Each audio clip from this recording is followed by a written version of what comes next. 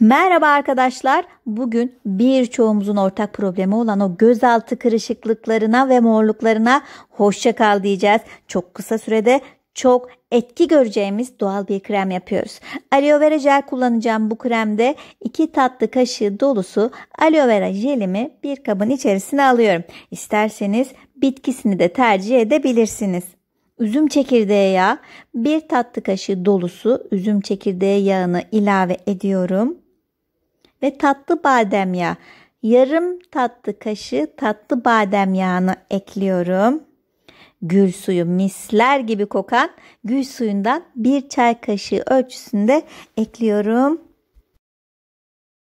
Son olarak da karışımımıza E vitamini kapsülünden bir adet sıkıyorum. Bitti bu kadar sadece birkaç dakika içerisinde kendi gözaltı kırışıklık giderici kreminizi e, hazırladınız. İşte bu kadar basit fazla para vermeye gerek yok arkadaşlar.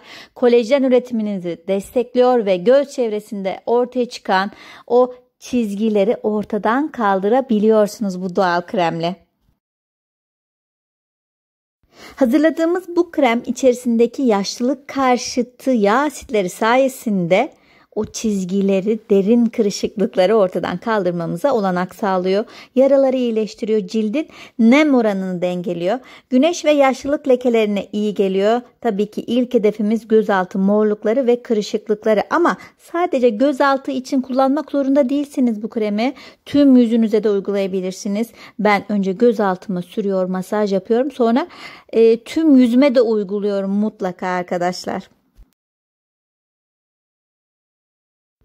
Çok iyi bir şekilde karıştırmanız gerekiyor. Yağların homojen bir şekilde birbirine girmesini sağlamanız gerekiyor. Hemen pes etmeyin. Biraz uzun karıştırın arkadaşlar bu kremi.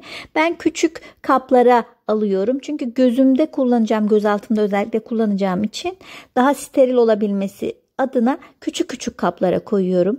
Ee, yanında onu alabilmeniz için e, kullandığınız bir spatula olursa daha da temiz olmuş olur. Bunu da hatırlatayım. İki küçük e, göz kremi kabına yetecek kadar çıktı. Hemen ellerime süreyim istiyorum. İşte bu kadar. Çok güzel olmadı mı arkadaşlar? Ben çok severek kullanıyorum bu kremi. Çok da faydalarını görüyorum. Hadi şimdi bunu cildimize nasıl uyguluyoruz görelim ama önce lütfen videolarımızın devamı için kanalımıza abone olmayı, bildirimleri açmayı ve alt yazılar sekmesinden dilediğiniz dili seçmeyi ihmal etmeyin.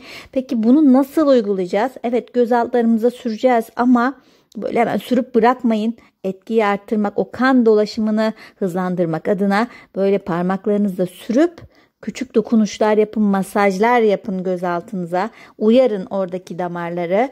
Ee, çok daha güzel etkiler elde edebilirsiniz. E, kalanını dediğim gibi tüm yüzünüze de sürmekten kaçınmayın. Boynunuza, dekolte bölgenize de sürebilirsiniz arkadaşlar.